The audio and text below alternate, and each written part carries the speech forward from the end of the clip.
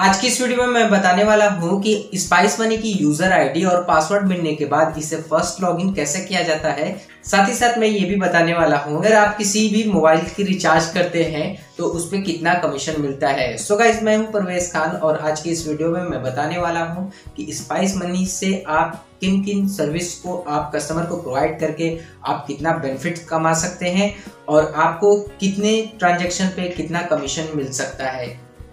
तो चलिए बिना किसी देरी के शुरू करते हैं और हम आपको लाइव दिखाते हैं। यहाँ पे हम आईडी और पासवर्ड डाल लेंगे, उसके बाद हम लॉगिन करेंगे। लॉगिन करते ही हमारे मोबाइल नंबर पे एक ओटीपी जाएगा और जो कि यहाँ पे अपने आप वेरीफाई हो जाएगा। यहाँ पे हमारा अकाउंट वेरीफाई हो गया है, अब हम यहाँ पे प्रोसीड करेंगे। यहाँ पे आपको आरबीएल ई के का ऑप्शन मिलेगा। इसे आप स्किप कर देंगे। ये कोई इंपॉर्टेंट नहीं है। इसके बाद यहाँ पे सबसे पहले मैं आपको दिखा देता हूँ कि इसमें क्या क्या सर्विस है। सबसे पहले तो आप मोबाइल रिचार्ज यहाँ पे एक सर्विस है जिसपे मोबाइल रिचार्ज पे आप क्लिक करेंगे। तो यहाँ से आप मोबाइल नंबर इंटर करेंगे, यहाँ से ऑपरेटर सेलेक्ट करेंगे और यहाँ से इंटर अमाउंट डालेंगे, जितने का आपको रिचार्ज करना है।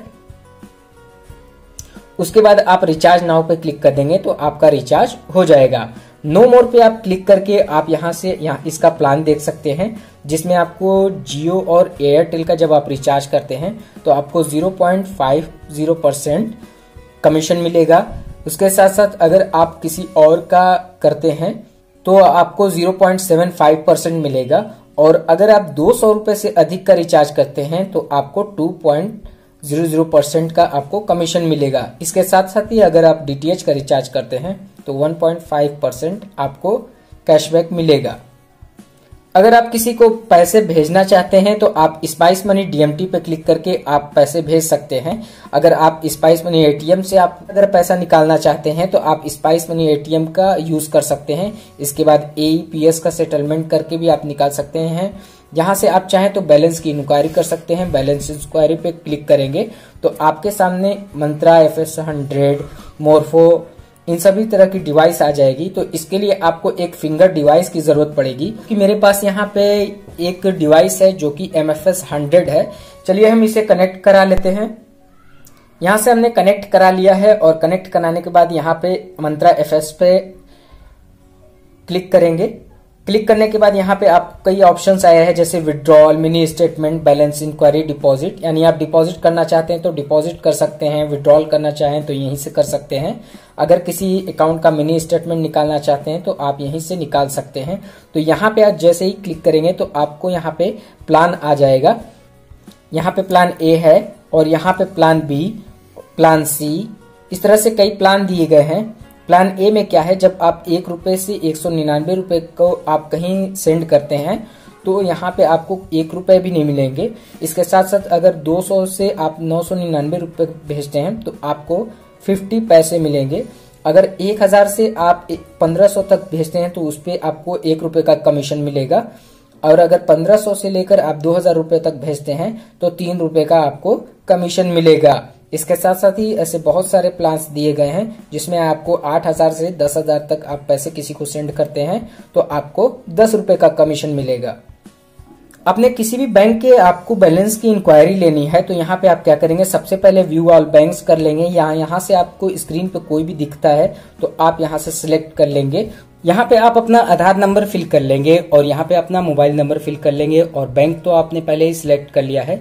तो यहाँ पे आप स्कैन टू चेक बैलेंस पे आप जब क्लिक करेंगे तो आपकी डिवाइस यहाँ पे ऑन हो जाएगी, यहाँ पे आप फिंगरप्रिंट रखेंगे। तो फिंगरप्रिंट रखते ही पहले वर्किंग करेगा और आपके सामने आपके जो भी अकाउंट में जितने भी बैलेंस है, वो आपको शो कर देंगे। अगर आप चाहें तो अपने बैलेंस को आप यहाँ से सेंड एसएमएस कर देंगे तो आपके मोबाइल नंबर पर सेंड हो जाएगा। इसके साथ साथ ही अगर आप प्रिंट करना चाहें तो ये प्रिंट भी हो जाएगा। इसके साथ साथ ही स्पाइस मनी में और क्या क्या सर्विस मिलती है, चलिए हम आपको बता देते हैं। यहाँ पे चाहे तो आप मिनी स्टेटमेंट चेक करना चाहें तो कर सकते हैं। इसके बाद यहाँ पे एम्पोस्ट मशीन पे आप क्लिक करके एम्पोस्ट के द्वारा आप पैसे निकाल सकते हैं। इसके साथ साथ सी एल में आप यहाँ पे जो भी आपको प्रीमियम भरना होता है तो आप स्पाइस मनी के द्वारा आप इसमें भर सकते हैं। यहाँ से आप चाहें तो आप फ़्लाइट पे क्लिक करके आप फ़्लाइट बुक कर सकते हैं, होटल पे क्लिक करके आप होटल भी बुक कर सकते हैं। अप्लाई पैन कार्ड पे क्लिक करके आप पैन कार्ड के लिए भी अप्लाई कर सकते हैं। यहाँ पे आप देख सकते हैं कि यूटीआई से पैन बनाने के लिए ये सर्विस ओपन हो चुकी है।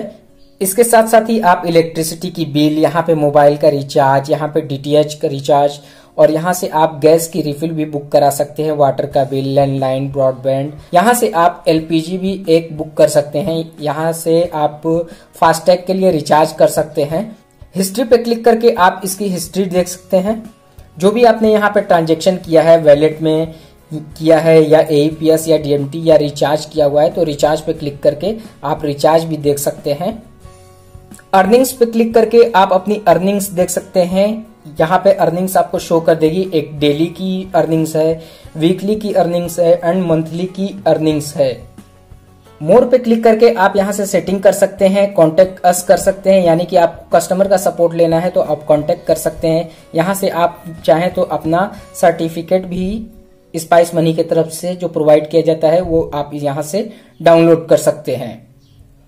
इसके बाद यहाँ पे ऐड मनी पे क्लिक करके आप अपने स्पाइस मनी के वैलेट में आप जितना अमाउंट चाहते हैं ऐड करना आप यहाँ से ऐड कर सकते हैं। इसके लिए आपको इंटर अमाउंट करना होगा। उसके बाद आप चाहे तो यूपीआई से कर सकते हैं या अदर पेमेंट मेथड पे आप देख सकते हैं। ये सारे पेमेंट मेथड हैं जहाँ से आप इसका यूज़ करके आप अपने स्पाइस मनी वैलेट में आप बैलेंस डाल सकते हैं।